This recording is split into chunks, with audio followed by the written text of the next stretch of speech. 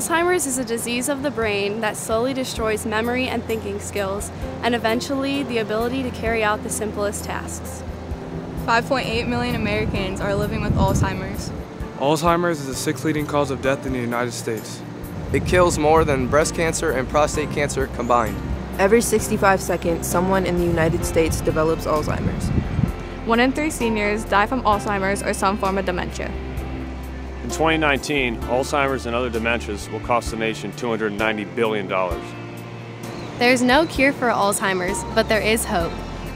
The Alzheimer's Association is leading the fight to create a world without Alzheimer's.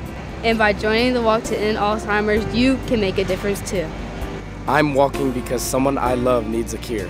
I walk because memories are worth fighting for. I walk in support of Alzheimer's caregivers. I walk to honor those who have courageously battled this disease. I walk in remembrance of my grandfather. I walk so future generations don't have to. I walk because the end of Alzheimer's starts with me. The end of Alzheimer's starts with you. Please join Team Tiger in the Walk to End Alzheimer's on Saturday, September 28th in Paul Brown Tiger Stadium. We're all in this together.